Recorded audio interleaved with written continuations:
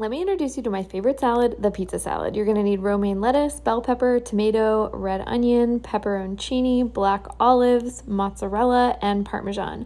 Then you're gonna mix up a little mayonnaise, red wine vinegar, oregano, Italian seasoning, crushed red pepper, garlic powder, and salt. Mix that all up, drizzle the dressing on top, and then you're gonna add some pieces of flatbread or baked pizza crust.